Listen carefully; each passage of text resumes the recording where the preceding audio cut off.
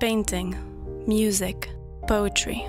Art isn't defined by its technique or material, but rather by the emotion it leaves you with, giving artists the freedom to create in the most surprising ways.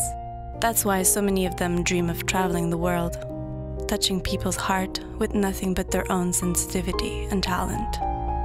Until they wake up and realize how bad they are.